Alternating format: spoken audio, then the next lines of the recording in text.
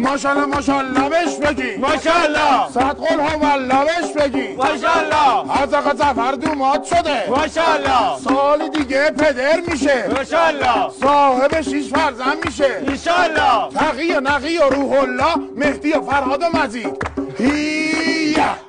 میا میا وان تو تیری فور تشکر تشکر.